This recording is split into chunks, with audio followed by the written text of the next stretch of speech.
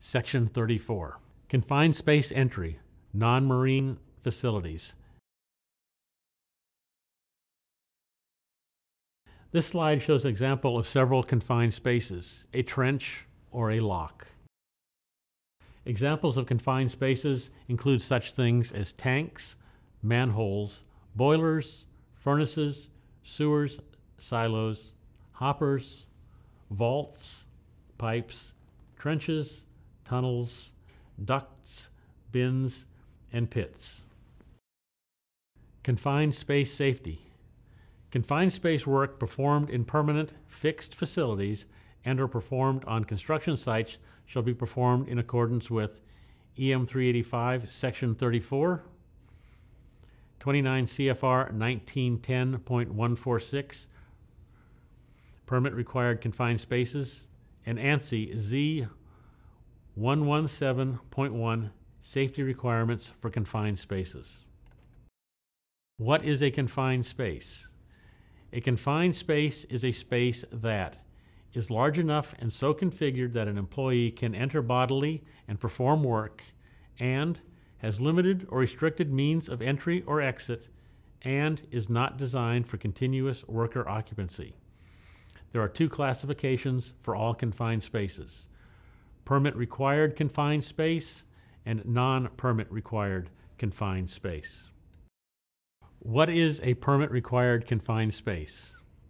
A confined space that has one or more of the following contains or has the potential to contain a hazardous atmosphere or contains a material that has the potential for engulfing an entrance or has an internal configuration such that an entrant could be trapped or asphyxiated by inwardly converging walls or by a floor that slopes downward and tapers to a smaller cross section or contains any other recognized serious safety or health hazard. Permit required confined space. Common acronyms for confined spaces CS, confined space, CPCS, competent person confined space, CPCSSV,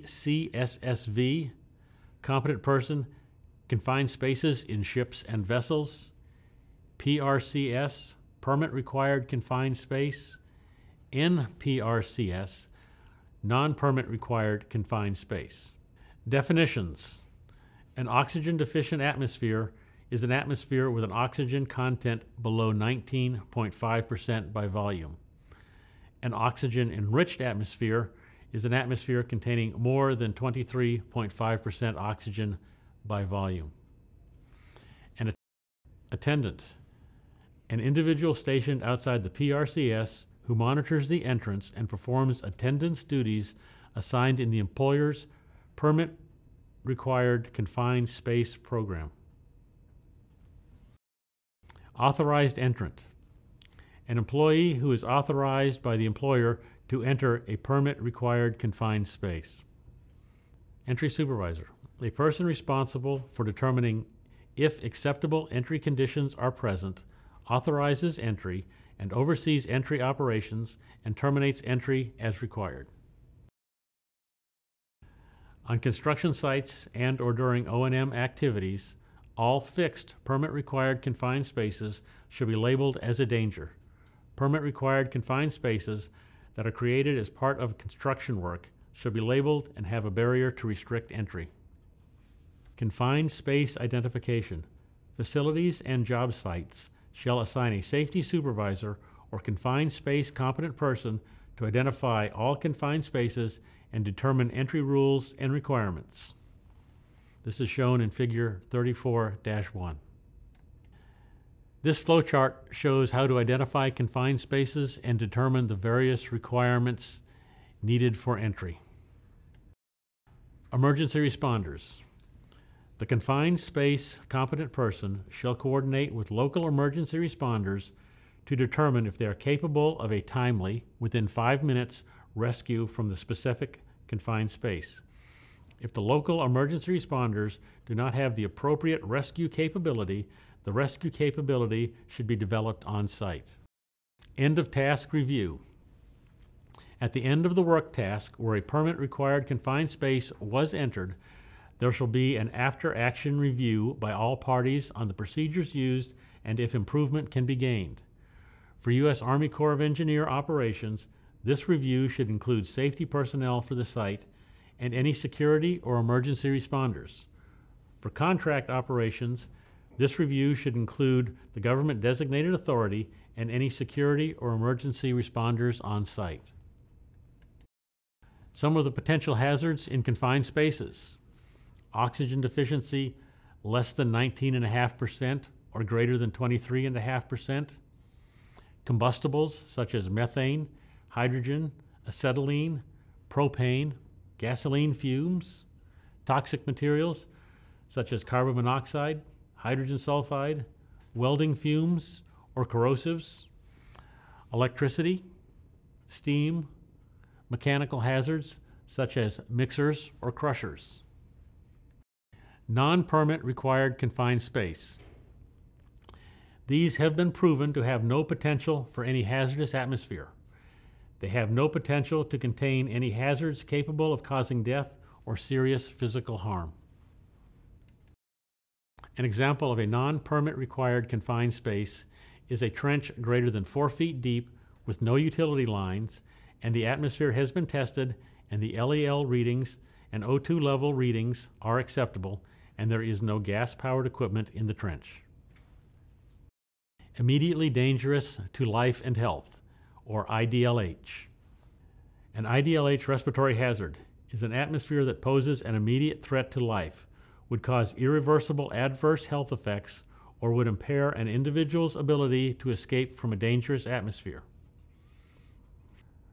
Per OSHA 29 CFR 1910.146, immediately dangerous to life or health indicates any condition that poses an immediate or delayed threat to life or would cause irreversible adverse health effects or would interfere with an individual's ability to escape unaided from a permit space. Responsible person. Permit required confined space permit. The confined space competent person shall complete or review and sign the completed permit required confined space permit.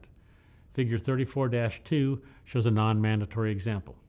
At a minimum, the entry log or form shall have the time and date, monitoring device type, model, serial number, and a calibration date and the name of the individual doing the testing, and shall be responsible for enforcing the use of the permit required confined space permits for entry into all permit required confined spaces at the facility or site. All permits shall be signed by each employee entering the confined space, the confined space competent person, attendant, and a responsible entry supervisor. Entry into confined spaces. Entry is the act by which a person intentionally passes through an opening into a permit required confined space. Any part of the body passing through the opening is considered entry. Confined space team members entrant responsibilities. To ensure that the space has been adequately ventilated, isolated, emptied, or otherwise made safe for entry. To immediately exit a space without question upon word of the attendant, no matter what the reason. To follow all safety rules and procedures that apply to the job. To be familiar with the work to be performed and the procedures that apply to the job. To use the appropriate PPE whenever necessary. Summary of the entrant responsibilities. Their major responsibilities are know the hazards, properly use the equipment, communicate with the attendant, and evacuate the permit required confined space if necessary or when directed. Attendant responsibilities. To monitor entrants during the job and during entry and exit to help ensure their safety. The attendant may not abandon his post for any reason while personnel are in the space unless relieved by another qualified attendant. To monitor atmospheric conditions in the space prior to and during entry. To control access to the confined space. To summon emergency assistance as needed. To assess hazards in and around the space and take action on the same. To keep records of confined space work such as air test results, personnel entry or exit, etc. Supervisor responsibilities. To assure adequate protection is provided to the entrants by verifying adequate lockout tagout and that all hazards are securely isolated. To support the attendant's authority in controlling access to a confined space. To verify that all personnel have exited prior to closing the space. To assure that all personnel involved are aware of the hazards associated with the space. To assure that rescue services are available prior to entry. Contractor responsibilities. If an injured entrant is exposed to a substance that requires a MSDS or other written information kept at the worksite, the MSDS or written information shall be made available to the medical facility treating the exposed entrant. Permit required confined space training requirements. Employee training. All employees entering permit required confined spaces or non permit required confined spaces, authorized attendants, supervisors and managers, and workers within visual contact of the confined space shall be trained to understand the requirements of the facility or site specific confined space entry program and procedures and emergency retrieval procedures. Initial confined space training. All entrants, authorized attendants, and supervisors or managers shall receive an initial confined space training course that includes hands on practical exercise with all the equipment, rescue exercise, and completing the confined space permit. The training shall include, as a minimum, the roles and responsibilities in conducting an entry, specialized training on the use, calibration, and maintenance of monitoring, communications, and retrieval equipment, the hazards of the entry, and the control of the hazards of the entry. Permit required confined space entry steps. Isolate the space, ventilate the space, conduct a pre entry meeting, complete the permit, test the atmosphere, then enter the space. Note, all vertical permit required confined spaces shall have a mechanical retrieval device when 5 feet or deeper in depth. Methods to isolate the space from all hazards. Close valves. They shall either be double blocked and bled or blank flanged. Empty the space. Depressurize, vent, and drain. Lock out and tag out the equipment, such as electrical sources, rotating and reciprocating parts, and hazardous materials. Clean the residue from the space. Ventilate the space. Use mechanical ventilation, such as fans or air horns. Ventilate at the rate of at least four volumes per hour. Larger spaces may require more ventilation. Make sure the air supply is not contaminated. The ventilation air supply must be from fresh air, uncontaminated with flammables, toxins, or other items. Conduct a pre entry briefing. The entire crew must attend the attendants, the entrants, and the entry supervisor. Review hazards of entry and work. Review the PPE requirements. Review procedure for contacting rescue personnel. Verify that rescue is available. Complete the permit. Emergency rescue. Using an on site rescue team, they shall have the same level of training as the entrants. Two members shall be trained in first aid and CPR. They will use all PPE and equipment necessary for the rescue. They shall practice rescues a minimum of once every 12 months. For off-site rescue teams, they shall be informed of all hazards in the space, and they shall have knowledge of when entrants are in and have left the space. Complete the entry permit form. Permits must be correctly and completely filled out prior to entry. No entry is allowed without a valid permit. When work is completed, the permit and pre entry form are reviewed. Canceled permits must be kept on file for at least one year. Test the atmosphere. The atmosphere will be tested in this order. First, check for oxygen content before and continual checking while the entrant is in the permit required confined space. The oxygen level shall be at least 19.5% and less than 23.5%. Next, check for combustibles. They shall be less than 10% of the lower explosive limit. Last, check for toxic gases. The most common is carbon monoxide. Its permissible exposure limit is less than 35 parts per million, or any other hazardous materials that could be expected in the space.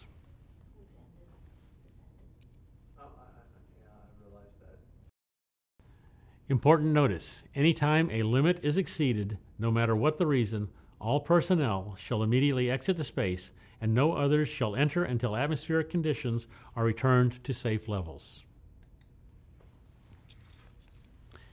Testing procedures. Always test the air at various levels to be sure that the entire space is safe. Good air near the opening does not mean there is good air at the bottom.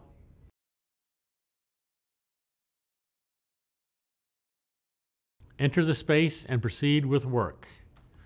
An attendant shall be posted at the entrance for the duration of the work. He or she shall be in constant communication with the entrants while the job is in progress. All entrants shall sign the log when entering the space and sign out when exiting. The attendant shall maintain the permit and log for the duration of the work. Contractor Confined Space Program. Contractors must be informed of the hazards within the space. Contractors must follow their own established confined space entry procedure and use their own permit forms.